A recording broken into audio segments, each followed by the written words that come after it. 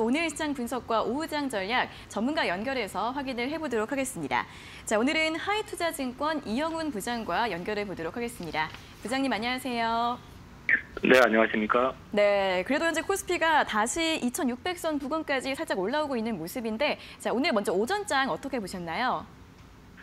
네, 전일 러시아 우크라이나 전쟁의 종전선이 선언이 안 나온 데다가 중국의 봉쇄가 지속되고 주말에 나온 미국이 가을에 코로나 확진자 수가 1억 명을 재돌파할 가능성에 대한 언급 그리고 전일 미국 10년물 국채가 장중 3.2%까지 터치하는 등 증시 주변과 인플레 위협 앞에서 증시는 계속 하락을 지속하고 있습니다. 어, 상대적으로 우리 증시가 이 증시보다는 양호한 흐름을 보이고 있는데 이는 먼저 조정을 받은 것과 어, 증시 지표상으로 21년, 22년 평균 PBR 1배가 2,585라는 점, 어, 피보나치 수열로 본 하락 저점이 2,560선, 그 다음에 22년에 코스피 PER가 지금 0.95배 등 비교적 견조한 지지선이 유지되고 있기 때문입니다. 전반적으로 투심이 저하된 가운데 거의 대부분의 업종이 하락하는 모습을 보여줬고 아직 지표나 정황상으로는 블랙스완의 출현 정황이나 문제 출현은 보이지 않기 때문에 어, 지지선 이탈에 따른 패닉셀링 특히 여기에 어, 개별주의 경우는 레버리지 투자 후유증으로 반대 매매 증가 등이 낙폭을 키우며 코스피보다 코스닥의 하락이 큰 상황인데 너무 크게 우려하실 필요는 없을 것 같습니다. 네, 이렇게 양지수가 지지선이 이탈되면서 패닉 셀링 우려가 있다라는 말씀을 해주셨는데 또 너무 큰 우려가, 우려를 하지 않아도 된다라는 말씀처럼 낙폭을 조금씩 줄이고 있는 모습입니다. 자, 그럼 오늘 오후장 전략은 어떻게 세워보면 좋을까요?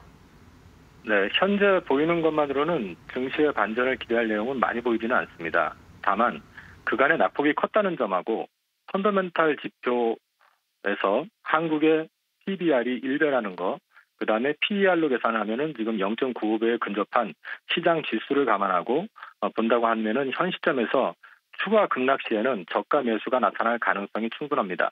어, 공격대, 공격적인 대응은 쉽지 않지만 대형 우량주 저가 매수는 여전히 유효해 보입니다. 특히 환율 1,300원대에서의 수출주는 분명 메리트가 큰 위치라고 보시면 됩니다. 다만 본격적인 외국인의 매수 참여를 위해서는 시장 전반이 안정돼야 되고 특히 환율과 미 국채 수익률에서 반전이 나와야 할 것으로 보입니다. 아, 그런 의미에서 5월에서 6월은 대형 우량주를 저점에서 매수해가는 구간으로 활용하면 될 것 같습니다.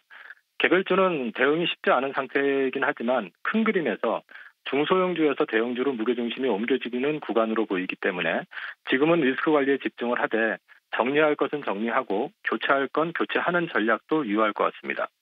이미 상당 부분 낙폭을 기록한 섹터 가운데서 어, 실적의 성장성이 확연한 섹터에 대해서도 분할 매수는 가능할 것 같은데 PCB 업체나 5G 섹터 역시 주목해 볼 만할 것 같고요.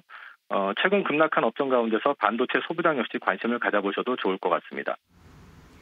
네, 오늘 말씀 잘 들었습니다. 고맙습니다. 감사합니다. 네, 코스피가 2,600선이 PBR 1배 수준이기 때문에 그 아래에서는 저가 매수가 들어올 가능성이 크다라는 부분 다시 한번 강조해 주셨고요. 어, 환율 강세는 시장의 부담일 수 있겠지만 수출주들에게는 또 다른 기회가 될 수 있다는 부분도 함께 참고를 해보시고 대형 우량주나 실적이 확실한 종목들 위주로 분할 매수 전략 다시 한번 짚어보시면 좋겠습니다.